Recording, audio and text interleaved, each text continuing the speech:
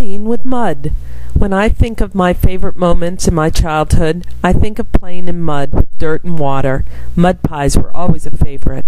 As an adult, I was drawn to playing with mud once again, this time in the form of my hobby, throwing pottery. When I throw, the energy of the clay seems to flow into my fingers, and each creation is a little different.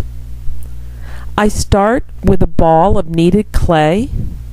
I center it on the wheel and then I pull the clay out and I then pull the clay up and soon a pot begins to form. Some are round and squat and others are taller and larger and some are just little honey pots. Some people like to paint their pots or carve them.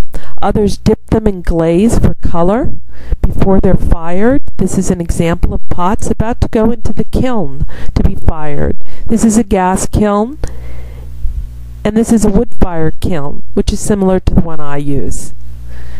Here are pots in the fire, and here are examples of my pottery.